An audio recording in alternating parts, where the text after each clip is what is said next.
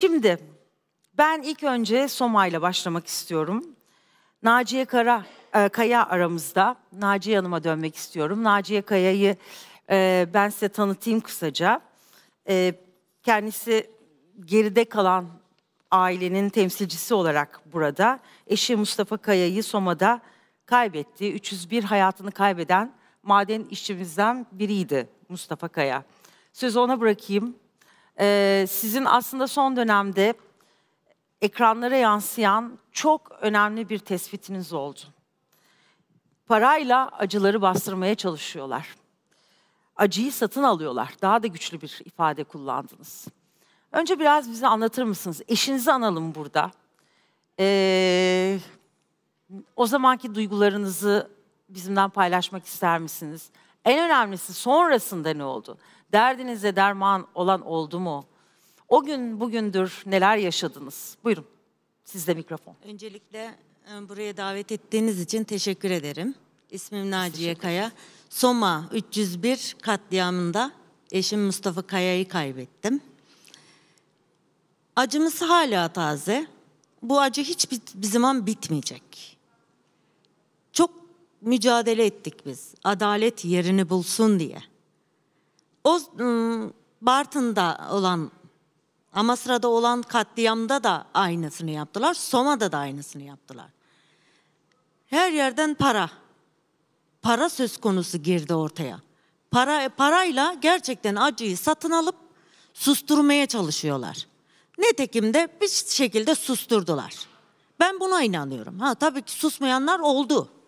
Olmaya da devam edecek. Şimdi bunu biraz açmanızı isteyeceğim ama önce yani tabii ki acıları konuşmak kolay değil. Ne sizin için ne bizim için. Ama e, biraz da eşinizin anısına, bu arada bunu belirtmem gerekiyor. Bu programı da ayrıca iş kazalarında ölen bütün işçilerimize adıyoruz bu akşam. E, biraz bize anlatır mısınız? E, eşiniz mesela madendeki durumdan şikayet eder miydi? Ne anlatırdı? Ve o kazaya ilişkin sizin tespitleriniz nedir? Bırakın teknik ya da bilirkişi raporlarını. Sizin tespitiniz nedir? Benim e, bizim tespitimiz mesela eşim kazadan 3 ay önce falan daha önce bir tane tişört götürürken bu tişört sayısı 3'e çıktı. Terlediklerini, çok sıcak olduğunu. Mesela buzlu şişeler götürüyordu bizim eşlerimiz. Eşim yani buzlu şişe götürüyor. Birken ikiye çıktı bu. Neden diye sorduğum zaman maden çok sıcak. Kömürler sıcak çıkıyor dedi. Siz sen bizim çalıştığımız yeri bir görsen yani berbat bir yer diyordu.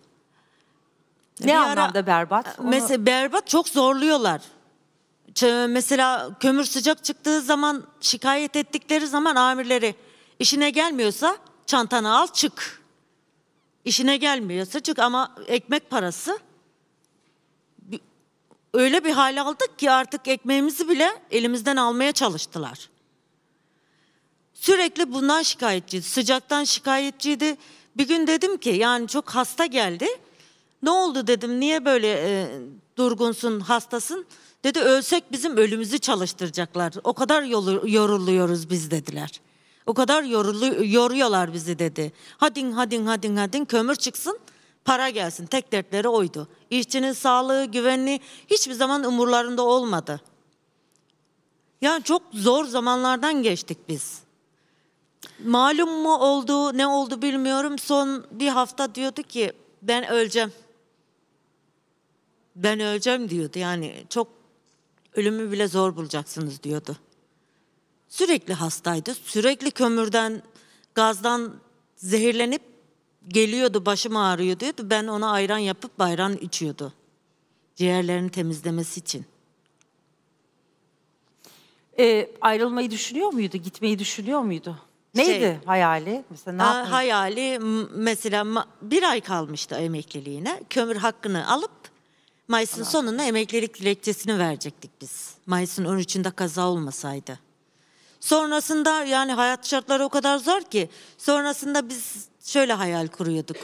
Hayalimiz bile küçük bir şeydi. Emekli maaşıyla bir kredi çekeriz, ev alırız. Ee, bir yerde sitede bekçilik buluruz. Ben temizliğe giderim, eşim de bekçilik yapar. O şekilde geçiniriz. diyeydi ama maalesef katlettiler. 301 kişiyi katlettiler. Göz göre göre bu kaza geliyorum dedi yani. Elimizi tuttuğumuz zaman kömür sıcak çıkıyor, elimizi yakıyor diyordu. Siz buna katliam diyorsunuz. Kesinlikle katliam diyorum. Kaza değil, katliam. Peki sonrasında parayla acımızı satın satın almaya çalışıyorlar. Çok e, çok acı. Evet. E, Bütün ülke adına çok acı bir durum ve çok e, ağır bir tespit aslında. Yani bunu duyanların e, normal şartlarda başını önünden kaldıramaması gerekiyor. Nasıl acınızı satın almaya? Şöyle bir şey var. Hemen e, bu kaza olduğu zaman manevi destek olursun. Bir çözüm yaratırsın. Bir daha o kaza olmaması için uğraşırsın. Bunlar hemen direkt e, şu kadar para yardımı yapıyoruz. Kesinlikle yanlış. E, aynı Bartın'da aynısını yaptılar mesela. Daha bir kişinin cenazesi çıkmadı. Hemen çıktılar oraya şu bir buçuk trilyon yardım. Bu ne demek? Alın parayı susun. Bu acıyı satın almak değil de ne? Benim tespitim bu. Ha sözüm de arkasındayım yani. Böyle bir şey olamaz yani. Parayla hiçbir zaman acı unutturulamaz. Benim iki tane çocuğum var. Biri 25 yaşında, biri 23 yaşında. Ben yani bu 9. seneye girecek. 9 senedir ben neler yaşadım bir Allah'la kendim biliyorum. Hem sağlık konusunda çocukların babasız büyütmek o kadar ağır bir şey ki. O kadar uğraş verici bir şey ki kesinlikle şikayetçi değilim. Ama iki kişi uğraşacakken tek başına ev, evin hem kadınısın hem erkeğisin her şeye koşturuyorsun. Bir de dul kadınsın. Böyle bir şey de var. Her yer- bir yere gittiğin zaman ha bu geziyor. Kimse bilmiyor ki benim kendim uğraşıyorum ya. Biz uğraşmak zorundayız. Ayak ayakta kalmak zorundayız. Çalışıyor musunuz? Hayır çalışmıyorum ev hanımıyım. Ee, çocuklarınız ne düşünüyorlar? Çocuklarım da aynı şekilde. Benim düşündüğüm yani. Hayır Onlar- yani mesela onların hayata bakışı, Onların oğlum çalışıyor. ülkeye bakışı nasıl değişti? Ülkeye mesela? bakışı umutsuz. Umarım umut ettiğimiz şeyi buluruz. Bulmak zorundayız. Yani bu şekilde gitmemeli. İnsanlar perişan. Alım gücü düştü zaten bir kere. O yüzden yani umutsuz bir ülke olduk artık. Hiçbir şeye güvenmiyoruz. Adalete kesinlikle güvenmiyoruz. Adalet duvarda kaldı yani yazılı kaldı. Adalet, adalet mülkün temeli değil artık. İktidarın temeli oldu. Onlar ne derse o oluyor artık. Şimdi e, Naciye Hanım burada size döneceğim tekrar. Çünkü o hukuki mücadelenizi de dinlemek istiyorum. Hem e, Soma'daki katliamdan sonra bütün kazalar aslında birer katliam. E, burada hem e, avukatlar, sendika temsilcileri var. Özgür Özel'e bir dönmek istiyorum. Ne diyeceksiniz Özgür Bey? Siz biraz önce açılışta söyledim. O dönem Manisa milletvekili olarak çok e, bölgedeydiniz, çok aktif olarak çalıştınız ama işte siyasetten hiçbir beklentileri yok ve acımızı satın alıyor bu siyaset ve bu ülke diyor. Ülkenin yönetimi. Çok teşekkür ederim. Şimdi biz tabii eminim avukat arkadaşlar da öyle.